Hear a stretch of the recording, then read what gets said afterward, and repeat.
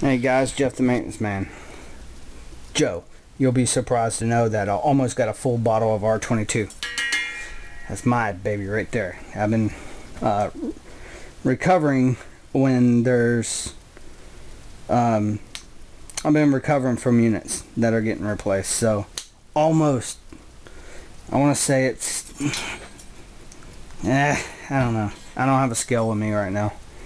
But it's almost it's over halfway full. So um, hopefully not contaminated, but with these units that we have here is is is crazy. As you see, get a jug of that stupid crap. This is our storage room, anyway. With that out of the way, this is our storage room, and this is the storage room where we keep things that are not exactly waterproof. So, appliances, uh, everywhere. These are dishwasher. That's a dishwasher, stove, and stackable units. I think there's four there. This is a uh, refrigerator. Uh, some couple ranges, some more little 17 inch dishwashers. Here's what our stoves look like. They're glass top, the Summit brand, because uh, Kenmore doesn't make these small stoves anymore with the glass top.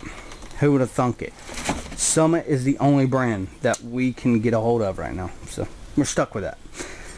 I, I, they're all right. I just I like I prefer the Kenmore's better. They they got digital controls. This one's got analog and digital controls, which doesn't make sense. But have one or the other.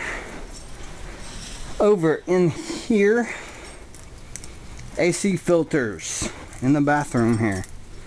Yep, these are AC filters. Some are pleated, some are not. Some are. That's a 12 by 20. Some are just the shittiest filters you can get. Look at that. I don't know where we ordered those from. They're the shittiest filters. Um, but that's fine. You know, with those X13 motors burning up every day, you don't want any more restriction. That's for freaking sure. Uh, and it's probably because our duct size is not right for those motors anyway. Who knows? Got some lighting stuff over here. Lex. Lex is a subscriber of mine, I hope. He's certainly a maintenance guy.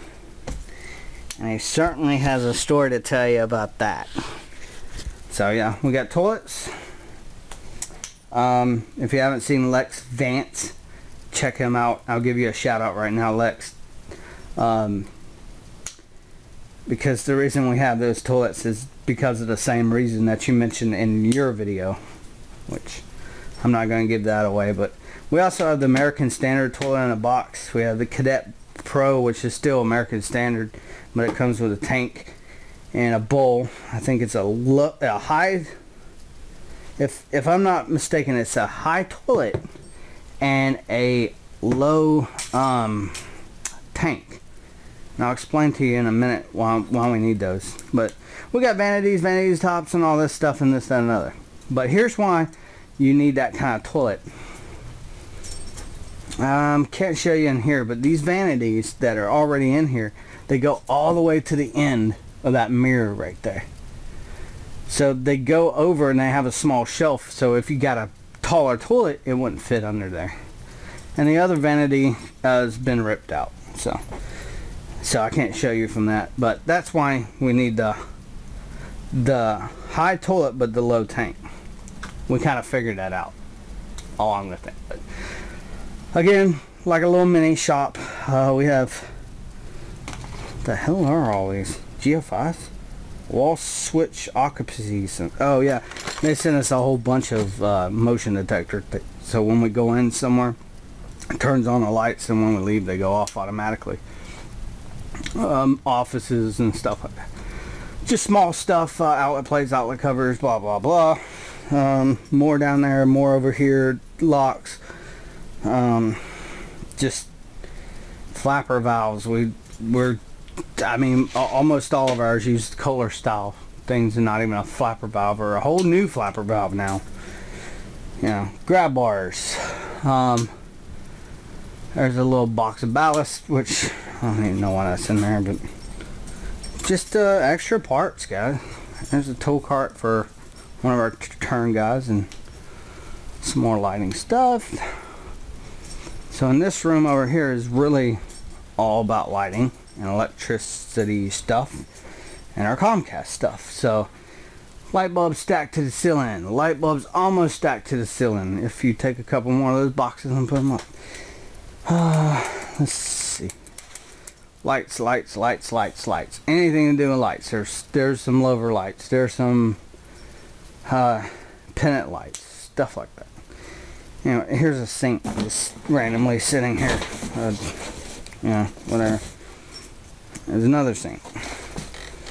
Uh, there's a Kenmore over the range thing. And then we have hundreds of boxes of ballast.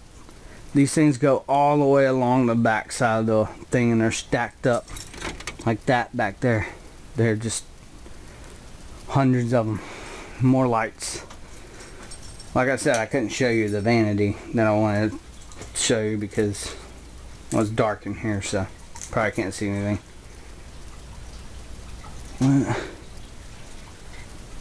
The water's running upstairs. But this is our storage room. It's been like a little tour of our other shop. Uh, the one that nobody wants to come up to because it's, it's always a mile and a half away from from every location that you're called from. These are uh, Comcast boxes that mount to the wall. A screw here.